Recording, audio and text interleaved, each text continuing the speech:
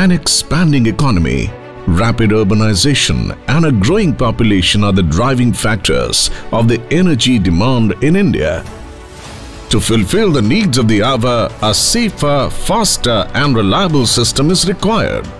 Today, natural gas is being used at large in various industrial, automobile and domestic applications. But in India, we do not have abundant natural gas reserves. So, natural gas needs to be imported. To facilitate transportation, natural gas is first liquefied, which reduces its volume by about 600 times, and then transported through ships in an easier, safer and economical way. The liquefied natural gas, popularly known as LNG, is the best mix of science and nature. On arrival of ships at ports, the LNG cryogenic liquid is transferred to storage and regasification terminals through the insulated pipeline and stored in the large insulated tanks.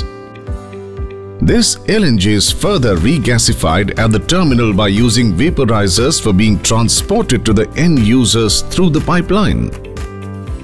Industries away from pipelines were deprived of natural gas now, a safe, reliable, flexible, efficient and, an alternate transportation system is required that deliver this energy to such customers. The tank trucks are on the job to transport LNG in the various parts of the country. In the year 2007, Indian Oil pioneered the supply of LNG through cryogenic road tankers in India. Indian Oil has its own fleet of LNG tankers for supplying the customers up to 2000 kilometers distance from various LNG terminals such as Dahej, Ennore, Kochi, Dhamra, etc. Loading bays are available at LNG terminals to load the LNG road tankers. LNG tankers that arrive at the terminal for loading are allowed to enter the terminal only after due inspection as per the checklist which ensures all safety statutory compliances required for tanker, driver, etc. A set standard operating procedure is always being followed under the eagle-eye vigilance of safety officers during the loading of LNG into the arrived tankers. The SOP includes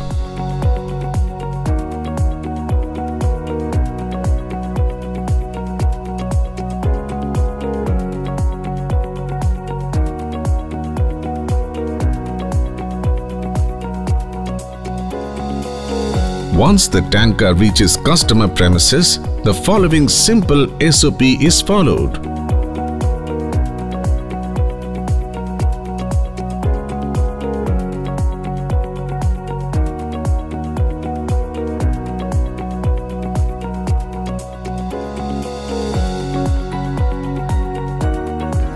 LNG thus stored in the storage tank is then regasified using ambient vaporizers passed through pressure regulating skid.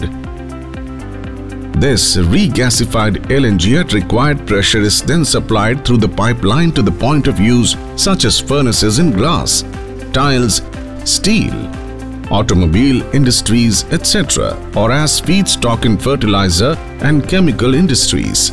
Safety and gas detection systems like methane gas detectors, flame detectors and fire alarm systems are deployed at both loading and unloading sites to prevent any unforeseen situations. Today, apart from use in industrial and domestic sectors, LNG is also being promoted as the automotive, locomotive and marine fuel and is also being supplied to the mining sector since 2014.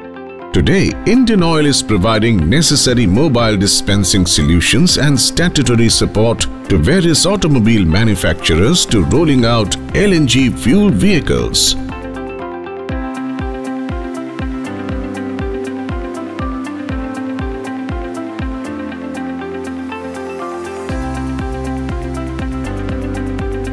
With the support of the government, auto LNG dispensing stations are being set up by Indian Oil on the Golden Quadrilateral and other national highways to develop the LNG refueling ecosystem.